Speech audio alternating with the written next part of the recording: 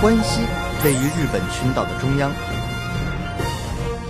四面环海的关西，说到美食，绝对少不了海鲜。名门海峡捕获的鲷鱼堪称绝品，吃在关西。快看呀，这里的景色多么美呀！那边呢就是丹路岛，现在我们站的地方就是四国。现在我们来到丹路岛和四国之间的名门海峡。哎，你知道吗？这里的潮特别的急。对呀，看那里的漩涡，你看一圈一圈的。听说呢，生长在那里的鱼，因为每天都要做运动，所以肉特别紧实，所以吃起来味道也特别鲜美哦。哎，真的假的？不吃怎么知道啊？那我们去吃一下吧。走了。天啊，太羡慕了！我也想去。小严和小高来的建在名门海峡边的名门大饭店，这间饭店在鲜鱼料理上相当有自信。哎，快看，能看到活的鱼。这个应该就是，喂，这可是在名门海峡刚捕上船的新鲜鲷鱼。说到日本传统鱼料理，当然是生鱼片。关系到生鱼片好吃不好吃，取决于鱼的鲜度和用刀的技术。哇，这鱼还活着呢！哇，上齐了！齐哒齐哒齐哒，这真是鲷鱼大宴呀！就是刚才我们看到的那个鱼哎。我要受不了啦！いただきます，先吃啦！いただきます。来日本之前都没吃过生鱼片，我也是，我不知道来日本之后就喜欢吃生鱼片了。 蘸酱吃。嗯，感觉特别有嚼头，嗯，特别筋道。这是不是就跟那个漩涡漩涡里面运动？嗯，太好吃了。这道料理是将一整只鲷鱼放到土锅里蒸烤，这是当地渔夫们常常吃的传统料理。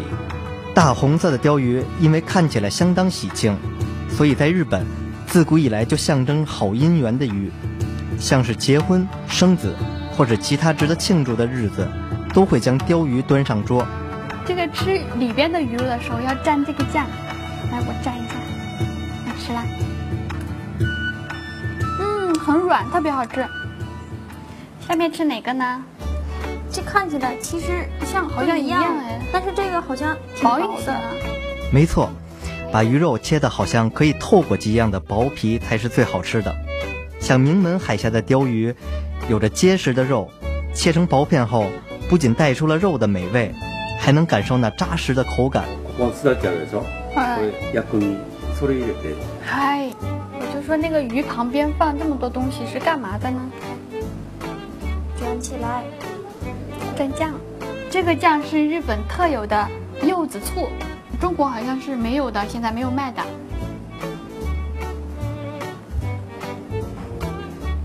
嗯，果然味道不一样哎。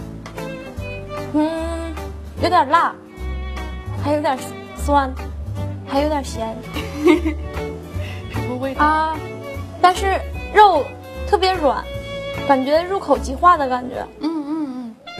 日本常常会利用切完生鱼片后剩的鱼肉，用酒、砂糖、甜料酒和酱油调制成一道日本料理，这可是相当美味的呢。我一直都特别好奇这个菜。嗯，这个比颜别的颜色都深。